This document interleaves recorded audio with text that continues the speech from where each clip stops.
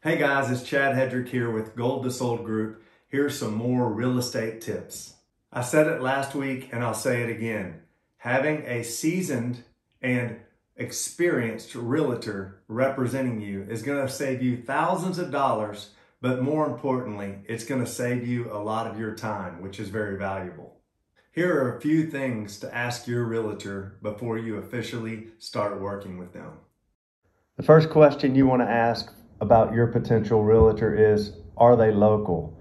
Working with a local broker is always better. They have local connections, draw in interested parties, and work with other local agents. In addition, an experienced local broker will ensure your home sells faster and for more money than the average out of town broker who doesn't market your property well.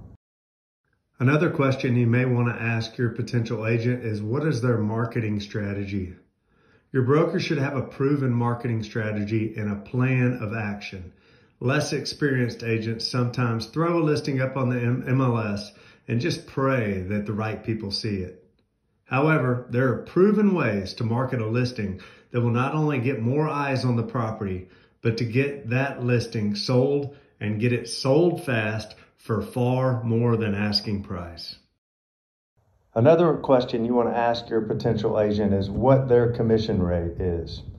Ask your broker about their commission. Some brokers only take 1% commission, which may sound like a great deal, but you will be losing money in the long run.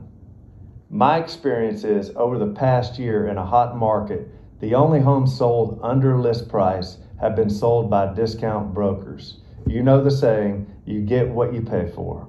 If you may be interested in selling your home this spring in this crazy market, I'd love to sit down with you and set up a marketing plan that works for you to attract many buyers and maximize the price of your sale.